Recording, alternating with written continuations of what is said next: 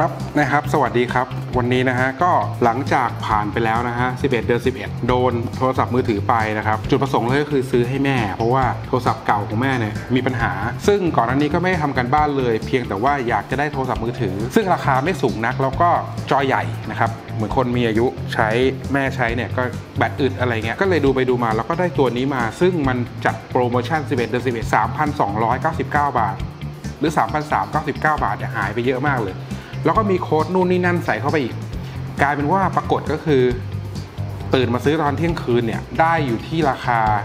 3,000 กับอีก 86 บาทครับ3,086 บาท โทรศัพท์แรม 4 ลอม 64 ซึ่งเป็นสเปคที่โอเคมาก แล้วก็Narzo เนี่ย บางคนก็อาจจะไม่คุ้นชื่อนักว่ามันคืออะไร ก็จริง ๆ มันก็คือของ Realme นะฮะ ซึ่งไอ้ Realme เนี่ยก็คือ oppo นั่นแหละทำโทรศัพท์ราคาที่ประหยัดขึ้นมานะประมาณนี้เองโอเค นี่ได้มาแล้วก็ยังไม่แกะ เพราะว่าอยากจะมาแกะหน้ากล้องแล้วก็ดู action ไปด้วย นี่เป็นการถ่ายครั้งแรกด้วยในการ unboxไม่มีอะไรแล้วเครื่องให้มาจากเครื่องกล่องจ่ายตังไปมีกล่อง แล้วก็มีกล่องพัสดุใส่โฟมใส่อะไรมา แค่นี้เลยง่าย ๆ โอ้โอ้โอ้ feeling ดีมากนะ ตอนกรีด เออ เห็นบอกว่า iPhone มันจะไม่ให้ไอ้ฟิล์มตัวนี้มาใช่ปะเหมือนลดโลกร้อนอะไรเงี้ยหรือเปล่า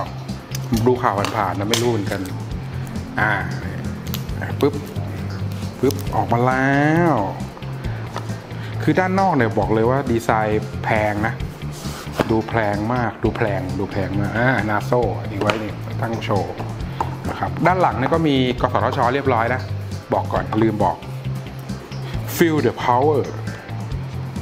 นะน่าจะเป็นคู่มือต่างๆ quick start อะไรประมาณนี้หนึ่งสองสามโอเค เดี๋ยวค่อยอ่าน แล้วก็มาเจอตัวเครื่องนะครับ นี่เฮ้ยสวยงามมากนะ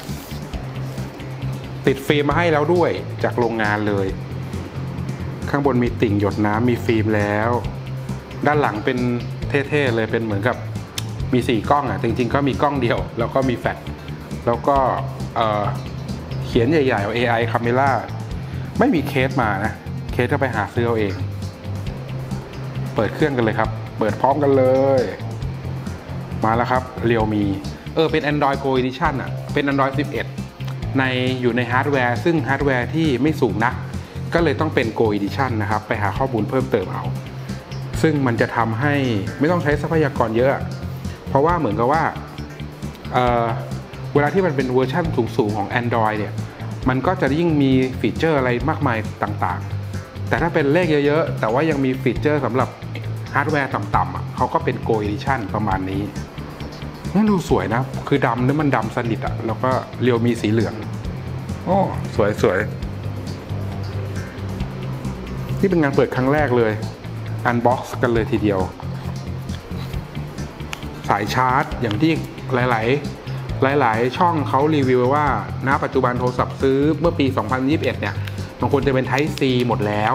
แต่ก็ยังเป็น Micro USB อยู่นะครับ ไม่เป็นไร ด้วยราคาเท่านี้ยอมนี่ขึ้นมาต้นมาแม่งสตาร์ทอัภาษาไทยภาษาอังกฤษนี่ เฮ้ย มันก็สวยนะจอก็คมนะ คือปกติเท้าความว่าส่วนตัวยังใช้หัวเว่ยหัวเว่ย Y9 2019 อยู่ ซึ่งก็เป็นประมาณเนี้ยก็เลยไม่รู้สึกว่า เอ้ยมันมันมันสามพันอะรู้สึกว่ามันเป็นสี่ห้าพันอะภูมิภาคก็ไทยสิไทยไปไทยถูกแล้วไทยเชื่อมต่อเครือข่าย ใส่ซิมการ์ดข้ามก่อนเพราะว่าตอนนี้ซิมอยู่ที่แม่ อะโอเค สัญญาณ Wi-Fi เฮ้ยจับก็โอเคอะใส่รหัสก่อน Wi-Fi โอ้การแตะสัมผัสดุกดุกดุดุกปกตินะดีมากเลยเออคีย์บอร์ดเป็นน่าจะเป็น G บอร์ด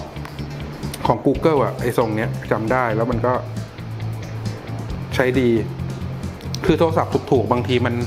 จะติดคีย์บอร์ดของมันเองมา แล้วมันก็แล้วมันก็เหมือนกับ มันก็ละเมิดการใช้งานของเวลาเวลาเราพิมพ์เพื่อจะดูว่าเอ้ยเราชอบพิมพ์อะไรอะไรเงี้ยแล้วเพื่อจะยิงโฆษณา เพราะฉะนั้นคีย์บอร์ดถ้าเป็นตัวที่ติดมา มันก็จะไม่ค่อย work ก็ควรจะไปเปลี่ยนซะ แต่ตัวนี้ก็คือให้ของ Google มาเลย ถือว่าประทับใจนะ นี่แค่ 2 เรื่องนะ จอที่เปิดมาแล้วก็เป็นเรื่องของคีย์บอร์ด คือเหมือนเขาไม่แอบแฝงนะ แต่อย่างว่าแหละแบรนด์ออ oppo นะมันก็ไม่ใช่ว่า no name ถ้าเป็นแบรนด์พวกธรรมดาราคา 3,000 อะไรเงี้ย ก็จะมีโอกาสแบรนด์โนเนมที่มันจะแฝงมาแวร์แฝงตัวโฆษณาอะไรมาให้เรา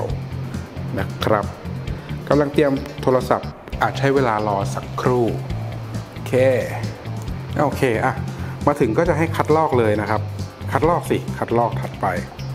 นี่ ดึงข้อมูลจาก Android เครื่องเก่า โอเค แบบไร้สาย ข้อมูลจากระบบ cloud อะอะลองดูสิลอง cloud ซิว่าของแม่เขาลงทะเบียนไว้หรือเปล่า โอเคนะครับ ตั้งค่าทุกอย่างเสร็จเรียบร้อยแล้ว นี่ครับ โทรศัพท์เราก็พร้อมใช้ได้ทันที เฮ้ย หน้าจอ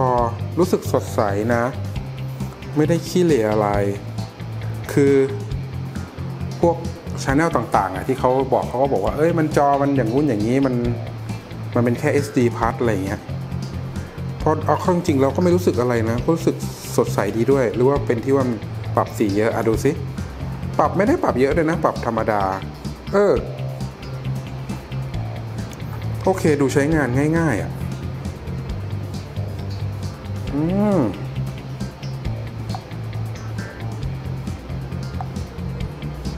โอเคเรามาลองดูกล้องขออนุญาตใช้กล้องและไมโครโฟน โอเค เขาก็กลัวเราจะฟองร้องนะเดี๋ยวจะหาว่าอันนั่นขณะใช้แอป โอเค อันนี้เปิดโลเคชันไว้จะได้รู้ว่าถ่ายที่จังจงหวัดอะไร สลับโหมดนะ ใช้สไลด์ซ้ายขวา โอเคอกล้องตุนใช้คำดีเลยกล้องตุนมาก กล้องไม่ได้รู้สึกว่ามันสดใสอะไรนะครับ โอเค กล้องเนี่ย เห็นได้เลยว่ามันเป็นโทรศัพท์ 3,000 กว่ากว่าๆอย่างชัดเจนอะ F หมด F สิ F อืมโอ้โอเค ภาพแรกนี่ครับเรียวมี โอ้โห น้อยเพียบ อย่างที่บอกไปครับน้องน้องกล้องกอกแก๊กมาก โอเค ไม่ต้องคาดหวังใด ๆ ทั้งสิ้นอะ ใช้ได้นะครับ คมสดใสสวยงาม นี่มาดู YouTube กันดีกว่าอันดับแรกเลย YouTube เพราะว่าแม่ชอบดู YouTube นะ เราก็เข้าดู YouTube ซึ่งอันนี้เชื่อมต่อของแม่แล้วด้วย เป็น YouTube ที่แม่ชอบดูนะ แม่เป็นติ่งเกาหลีเนี่ยดูปลูกปลูกอะไรนะ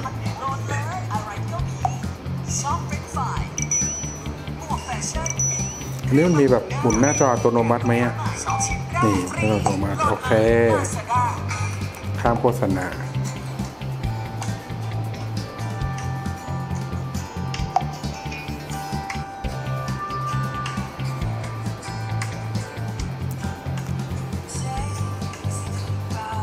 นี่สามารถจะทำอย่างนี้ได้นะจะดึกธรรมดาแล้วก็ยืดเอาไว้วูสน้าจอใหญ่ เต็มเบิ้ม ความละเอียดดูซิปรับได้ไหม คุณภาพ โอ้ยไปถึง 1080 60p เลยนะนะเฮ้ย ปรับยังเนี่ย ดูตุนตุนเออ โอเค ชัดละชัดละเสียงเหรอ ก็ฟังรู้เรื่อง โมชั่นดีนะ 60 เฟรม นั่นแหละมีอะไรกุดิ้งกุดิ้งมีเตือนมาแล้วด้วย เรียบร้อยครับ ปกติดีทุกอย่าง เดี๋ยวลองใช้งานสักพักหนึ่งถ้ามีแลปเดตก็จะมาบอก ถ้าไม่มีแลปเดตก็จบคลิปแต่เพียงเท่านี้ ถือว่าโอเค 3,000 กว่า เยี่ยม